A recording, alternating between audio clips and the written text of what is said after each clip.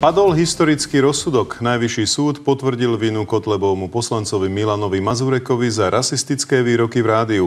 Zaplatiť musí pokutu 10 tisíc eur, inak pôjde do väzenia. Mazurek zároveň skončil v parlamente. Podľa ústavy tam totiž nesmie sedieť odsúdený poslanec. Ide o prvý takýto prípad v histórii Slovenska. Napriek tomu, že mnohí z nás sa potešili rozhodnutiu súdu o tom, že Milan Mazurek nemá byť súčasťou parlamentu za jeho výroky, tak chcem vás všetkých upozorniť na to, že naďalej zostávajú súčasťou slovenského parlamentu ďalší fašisti a extrémisti, ktorí sú toho istého názoru ako pán Mazúrek. Najmladšieho poslanca obžalovali z extrémizmu a v Lani v apríli ho špecializovaný súd za tieto rasistické reči odsúdil a vymeral mu 5000 pokutu. Pre prokurátora to bolo ale málo. Odvolal sa aj poslanec, ktorý trval na svojej nevine. Zároveň spochybňoval dôkazy aj znalca. Najvyšší súd ale verdikt definitívne potvrdil.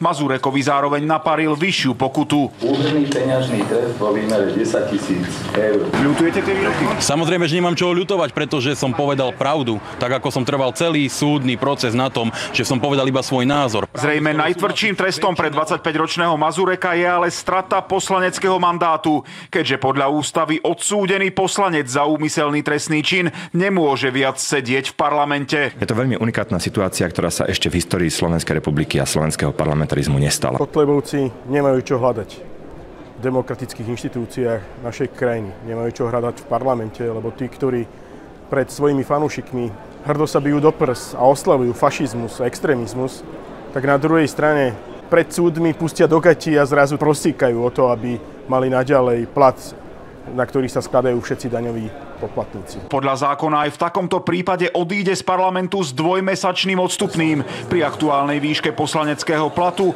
mu to tak pokrie takmer celú súdom udelenú pokutu. Kedy opustíte parlament? To ešte neviem. Obhajca Milana Mazureka potvrdil, že v tejto veci plánujú ešte podať mimoriadný opravný prostriedok. Tento krok však na stratu poslaneckého mandátu nebude mať žiadny vplyv.